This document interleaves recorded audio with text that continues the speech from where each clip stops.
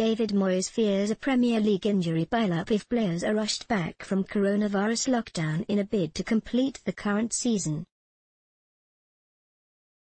Authorities are still wrestling with the problem of how to finish the campaign in such a tight timescale, with clubs likely to need to play three games a week, and while the West Ham boss wants a four-week training build-up once the restrictions ease, he acknowledged clubs are unlikely to get what they wish for, and could pay the price as a result.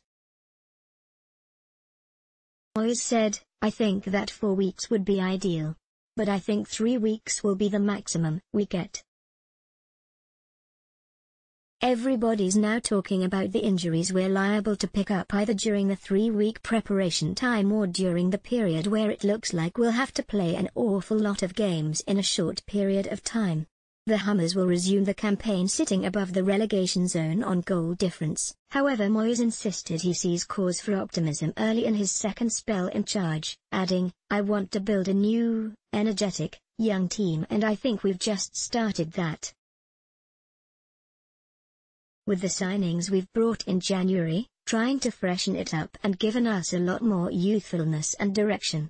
Let's block ads. Why?